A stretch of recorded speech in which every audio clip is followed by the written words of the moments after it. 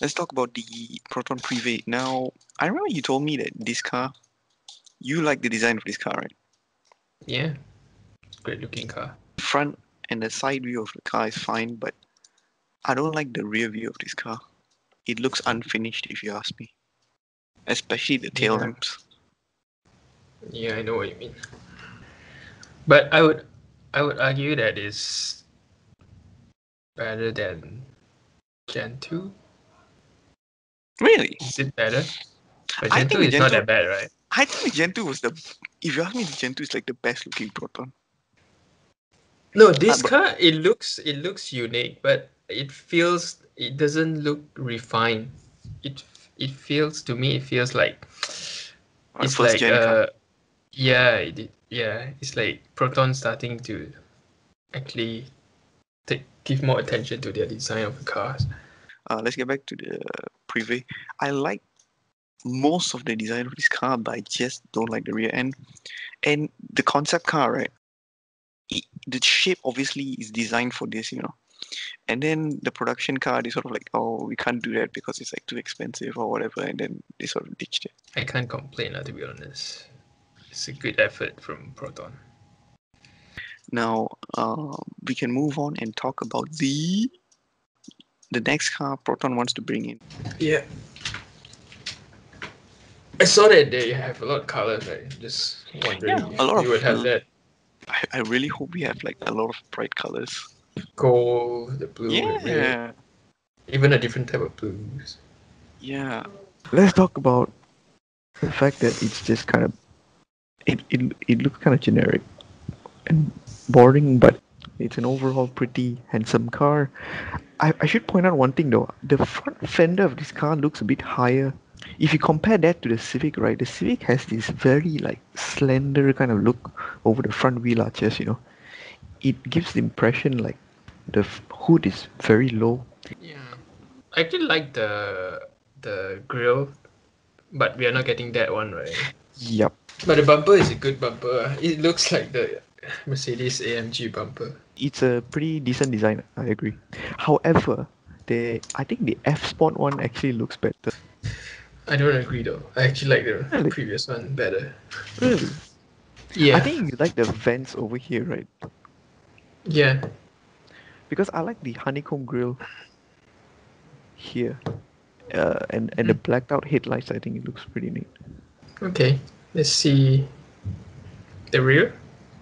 All right. Um, I mean, it's, it's it doesn't try to be something it's not, which is what I appreciate. I tell you what, I appreciate the fact that it's not trying to copy some other car or anything. It's just honest. It's simple. It's clean. I like the the the boot lid design. ah. It looks like kind of Unique. how do you say it? It's a bit like Lexus kind of design. Lexus IS.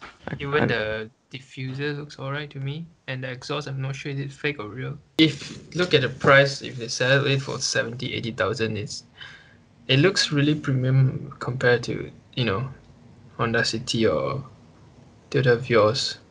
This car comes with painted calipers. Yeah. Wow. That's crazy. You could argue it's kind of tacky, but it's not bad. I mean, something's better than nothing, right?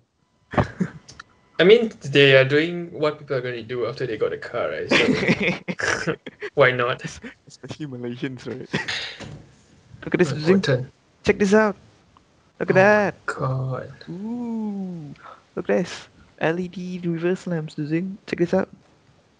Yeah, it matters, right? Yes, it does. And the turn signals are here or something like that. Wow. I think this car uh, got four airbags. ah. Or is it six? Ah, I don't know. Around there. now let's talk about this. Interior, what do you think? This is the F Sport version. If you get the ac- accent, the red accent is nice. Ah. If Pretty nice, right? it, Looks like a BMW M Sport. It's not even true. Look at this. Eh, oops. There's like this Fox carbon fiber thing. However, I think the normal one has a. I actually prefer the normal one without the f- Let's just look at- stupid. the standard one. Uh. Yep. This one you have a lot of silver accents. I the X70 has this sort of like cream off white center stack, which uh, this car does not have. Oh, I didn't realize that. It looks like it's, it's after a couple of years turned yellow. You know? Okay, okay. Design, of course, is not as uh, can't find a word. It's, not, that amazing lah, amazing like X50, but I, I guess it works lah. I think the materials wise is also not too bad. I know that they have soft touch materials on top, uh, even the meter meter cluster. So that's fine. Yeah, I, I like that the this the central screen is not doesn't look like it's kind of what do you call? Fuck. no, it doesn't look like it, it stick on it. At least from this angle. It's not like tacked on. Yeah, yeah, yeah. Yeah, yeah. If you look at X50 and all that. It, yeah, it's like the afterthought, right? this one feels like it's built in. This one is, looks like it's built into it, even though it's not. Uh, the good thing about having the screen underneath the aircon vents is that you get the wind blowing towards your face rather than into your armpits. Mm-hmm. Yeah, but the rest is fine. I mean, the lower part looks alright to me. Yeah. But the gear seems to be different, huh? The gear. Oh, they it doesn't come with the electronic shifter. No. Yeah, so no sh- pedal shifters for you guys. Too bad. Haha. I hope it does come with pedal shifters. Yeah, and the Preve had it, so Yeah, but give us pedal shifters. this car, I'll give it a. s- If it comes with this front bumper, right, with this trim and this appearance, I'll give it a seven out of ten. Oh, bias shit, huh? okay, this car six. All right. I'll give this interior a six out of ten because I just think the X50's interior is slightly nicer looking. I'm gonna give it a bit higher because of the price. It's definitely not better than X50, so um eight. I give eight. All right. Should I give eight? Yeah, let's just say eight.